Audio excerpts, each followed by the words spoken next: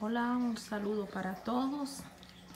Antes de viajar a Cuba, eh, yo estaba preguntándole a muchos cómo podía pasar una juca para Cuba. Nadie supo responderme, pero tomé el riesgo y la pasé todo muy bien.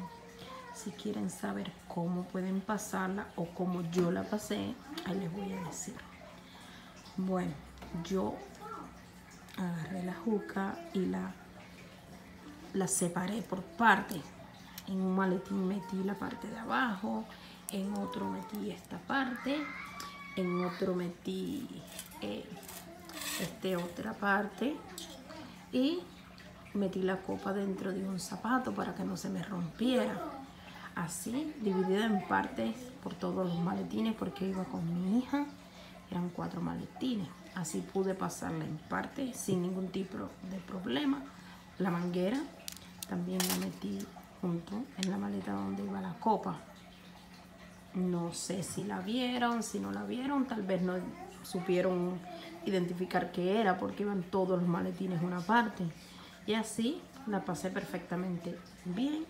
Si quieren intentarlo, pueden hacerlo. Tal vez fue suerte o Tal vez no supieron cómo iba por pedazos, no se supo qué era. Pero gracias a Dios logré pasarla y todo perfecto.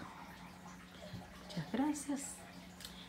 Eh, pueden ver todos mis videos en YouTube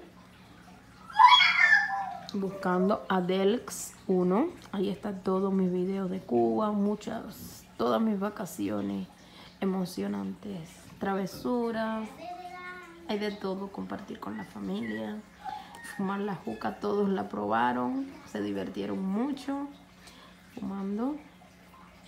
Unas vacaciones muy ricas, aunque muy cortas, solo una semana, pero lo disfruté al máximo.